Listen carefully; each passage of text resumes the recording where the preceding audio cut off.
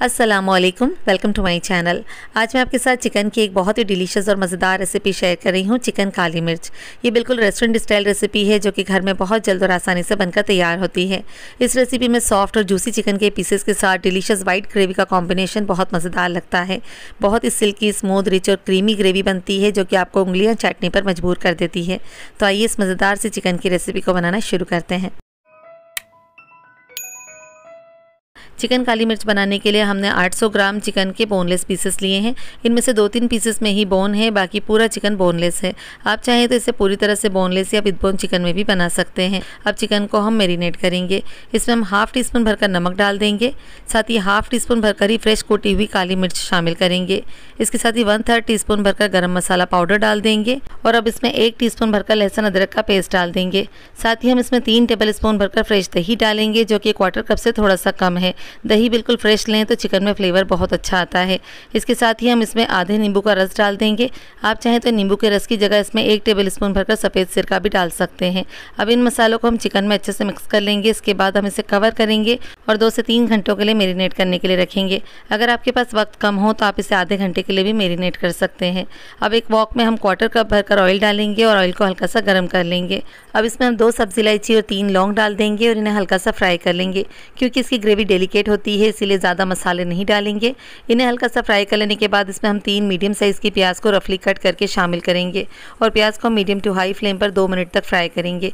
प्याज को हमें ज़्यादा डार्क नहीं करना है, इसका कलर हल्का सा ट्रांसलूसेंट हो जाने तक फ्राई करेंगे। ये देखिए प्याज का कलर हल्का सा वाइट होने लगे। इस वक्त हम इसमें छः हरी मिर्चों को बीच से स्लिट करके डाल देंगे, जो कि काफ़ी तीखी हैं। मिर्चों की क्वांटिटी को आप अपने टेस्ट के मुताबिक एडजस्ट कर सकते हैं। इसके साथ ही हम इसमें दस काजू डाल देंगे, जिन्हें हमने सोक किया है। आप चाहें तो काजू की जगह बादाम या मगज़ भी शामिल कर सकते हैं, जिन्हें डालने से ग्रेवी में अच्छी सी थिकनेस या रिचनेस आ जाती है। अब ये देखिए, हमने हल्का सा इन्हें फ्राई कर लिया है। इन्हें निकाल कर हम एक प्लेट में रखेंगे और इन्हें ठंडा होने देंगे। जब ये ठंडे हो जाएँ, इसके बाद हम एक ग्राइंडर के जार में डालेंगे और हल्का सा पानी डालकर इनका एक थिक सा पेस्ट बना लेंगे। अब इनका पेस्ट हम बनाकर साइड में रखेंगे और इसी वॉक में हम एक टेबल स्पून भरकर बटर डालेंगे और बटर को मेल्ट होने देंगे। यहाँ हमारा चिकन भी अच्छे से मेरीनेट हो चुका है। अब चिकन को हम बटर और ऑयल में डालेंगे और हल्का सा फ्राई करेंगे। हमें चिकन को चार से पाँच मिनट तक मीडियम टू हाई फ्लेम पर चलाते हुए फ्राई करना है। इसका कलर डार्क नहीं होने देना है, सिर्फ़ हल्का सा फ्राई करेंगे। जब तक कि चिकन का पानी खुश्क नहीं हो जाता या फिर इसका मसाला इस पर चिपकने नहीं लगता।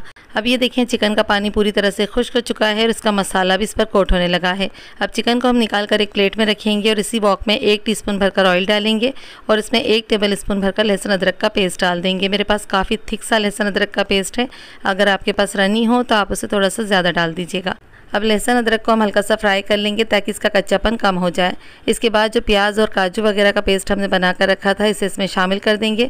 थोड़ा सा जार में पानी डालकर इसे भी डाल देंगे और मिक्स करते हुए दो से तीन मिनट तक मीडियम फ्लेम पर इसे भून लेंगे। क्योंकि हम इस रेसिपी में वाइट ग्रेवी बनाने वाले हैं, इसीलिए हम मसाले को ज़्यादा डार्क नहीं होने देंगे।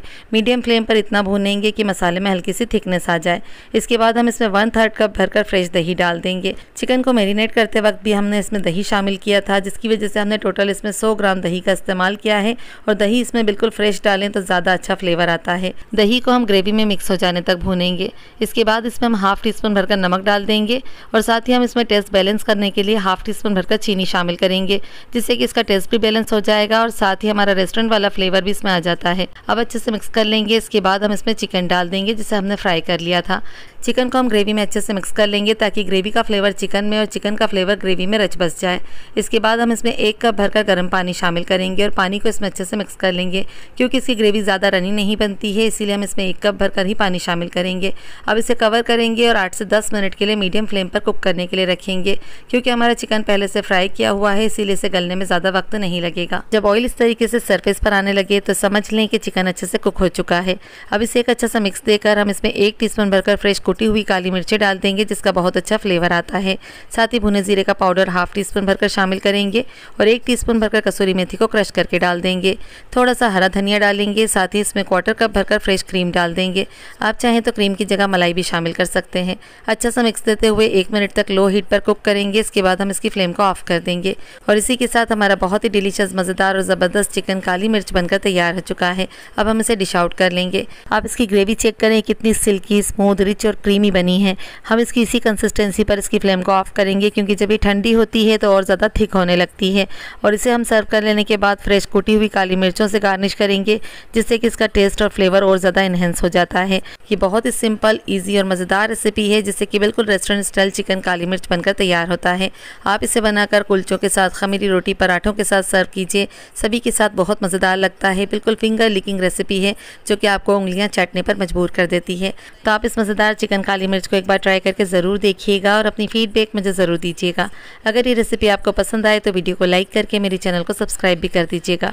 उम्मीद करती हूँ कि चिकन काली मिर्च की डिलीशियस रेसिपी आपको बहुत पसंद आएगी। मिलती हूँ फिर एक नई रेसिपी के साथ। तब तक के लिए अल्लाह हाफिज़।